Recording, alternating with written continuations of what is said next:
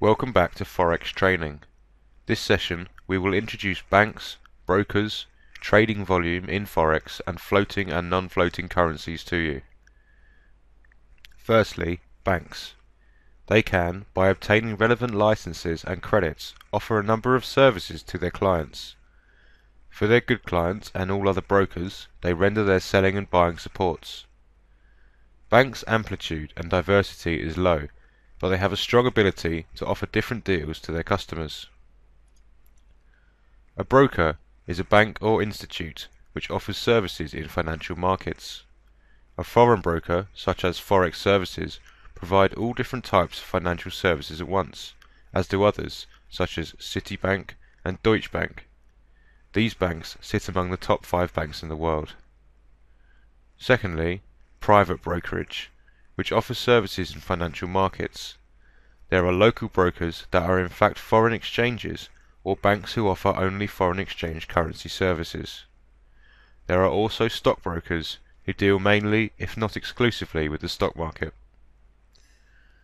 There are also foreign brokers, such as Forex, who offer all types of financial services at once, importantly including the stock market. Famous brokers in this area are FX Pro, FIBO Group, and Hot Forex. Now we will talk about transaction volume in financial markets, especially Forex. This market is an interbank network that until 2008 made approximately $1.7 billion of financial trades per day.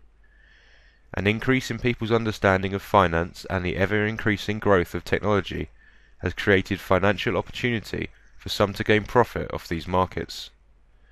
Now, with the predominance of the internet and Chinese banks and traders entering the market, the market's daily trades had risen to nearly $3.2 billion in 2013. That is an increase in daily trading of $1.5 billion in five years. Now, to determine the market value, there are several points that need to be made. Firstly, market price is always floating freely. This is based on supply and demand between buyers and sellers in the market. And secondly, there is no limit on price increase or decrease. Determining market price in international markets is not up to a single organization, but it is based on supply and demand between banks and financial institutions. It is comparable to housing prices, where no single organization is involved in adjusting the price.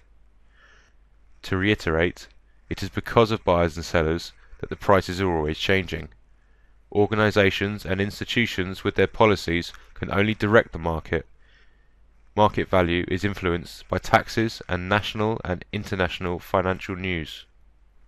Foreign currencies are divided into two groups, floating and non-floating currencies.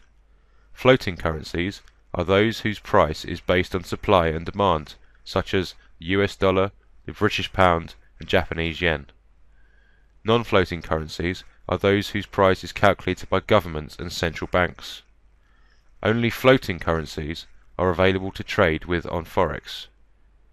That concludes this session. Until next time, take care.